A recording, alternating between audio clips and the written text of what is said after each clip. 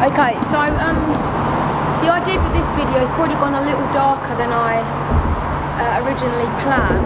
But I think with, with all of this, I'm really just giving into it. Like with all my videos, um, although I haven't written any of the songs about lockdown, I would say that all the music videos I've done are all associated with lockdown.